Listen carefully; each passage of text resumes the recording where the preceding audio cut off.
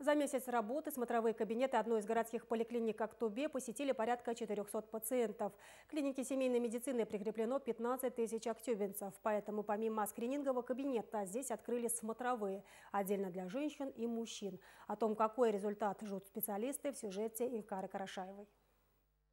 Рак молодеет. Это выражение стало уже крылатым среди врачей. Действительно, онкология не щадит никого. Потому в смотровых кабинетах диагностику можно пройти, начиная с 15 лет. Рак молодеет, поэтому мы стараемся выявить на ранней стадии, потому что рак на ранней стадии, он лечится.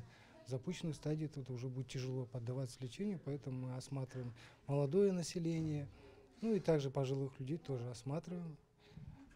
Э, мы смотрим на онконастороженность в основном. Э, сейчас на данный момент актуальны еще рак, э, рак прямой кишки есть, предстательная железа, аденома простаты тоже сейчас молодеет, молодые люди. Некоторые болезни, относящиеся к предраку, также стали диагностироваться у совсем юных пациентов. В женском смотровом кабинете девушек и женщин осматривают от макушки до пят. Помимо новообразования обследуют состояние кожи, сосудов и слизистых оболочек. Мы обследуем пациенток с 15 лет. В основном идет доврачебный профосмотр на онкозаболевания и предрак. Осматриваем кожные покровы, волосистую часть головы, вены для исключения варикоза. Пальпируем молочные железы заберем гинекологические мазки. При малейшем подозрении направляем на дообследование. У нас в клинике работает онколог, можно пройти УЗИ. Все бесплатно. Отмечу, что среди молодых девушек много встречается случаев фиброаденом молочных желез, миомы матки и эрозии шейки матки. Поэтому необходимо чаще посещать наш кабинет хотя бы раз в год. Мы обучаем женщин методам самодиагностики. Все это очень важно знать. А в скрининговом кабинете, как обычно, ждут пациентов определенного возраста.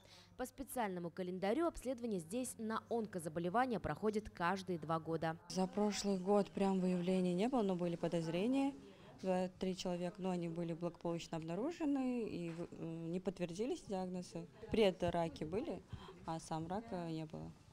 С какого возраста скринингу подлежат именно по онкологии? А, по онкологии с 30 лет до 70 лет у нас подлежат. Э, через каждые два года они идут. И мужчины, и женщины, ну, относительно какой вид э, скрининга. К слову, в регионе отмечается стабильный рост ранней диагностики рака. По итогам прошлого года положительная динамика составила 8%, а это залог успеха в борьбе со страшным диагнозом. Инкара Карашаева, Самат Каликенов, телеканал «Актобе».